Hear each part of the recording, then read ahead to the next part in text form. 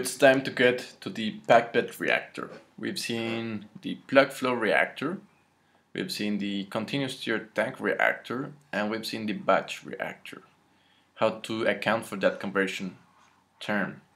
So if you've seen the plug flow reactor or you haven't, please go and see the plug flow reactor because the packed bed reactor is exactly the same. It's very very similar to the flow reactor so just go check it out and if you have any doubts uh, send me an email because I don't think you have doubts because it's literally almost the same. So the only thing that changes is of course this rate of reaction is based on the mass of the catalyst. And this differential is not volume but mass of catalyst once again. But we are still working with flow of A. Now flow of A you know that at any moment is the initial amount of uh, flow of A times the difference in conversion. So let's plug this number here, which essentially is this here.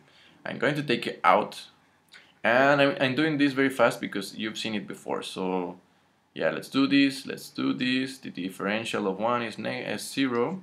You get this negative, then we turn this here and you get the differential form of a packed reactor in terms of conversion. Good. Now let's look out for the integral form. Uh, we got this from the previous uh, slide. I want first change this to the right, second change this to the left, also this. So I got this to, and I also integrate. Sorry, but I telling you I don't want to spend time doing this. It's exactly the same as the PFR, 0 and 0, x of a depends on the on the mass of the catalyst. So I do the integral here, I got this beautiful part here, and I get this. The amount of catalyst that you need to use is given by this function.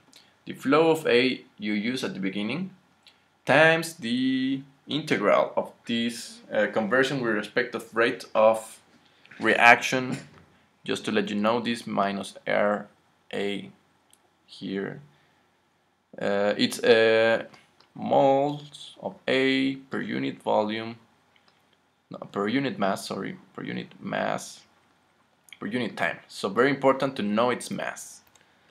Uh, yeah, essentially we're done. Sorry for the rapid introduction and procedures, but I told you before, if you really want to see it, go to the PFR, which is, I think, one video uh, behind or previous this video.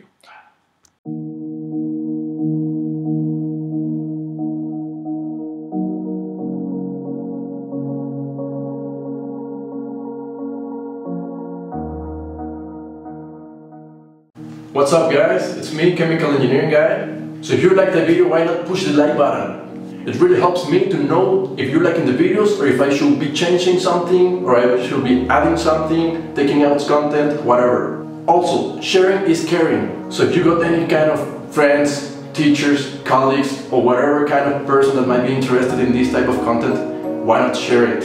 Sharing helps our community to grow faster in members and in content. If you want to keep track of my activity, videos, uploads, experiments, playlists, whatever content I'm getting on YouTube, be sure to click the subscribe button. Subscribing to the channel is totally free guys. My dream is to create an online academy of chemical engineering where everyone can access it in the world. Imagine a place in which the student, the teacher and the engineer get the best of each other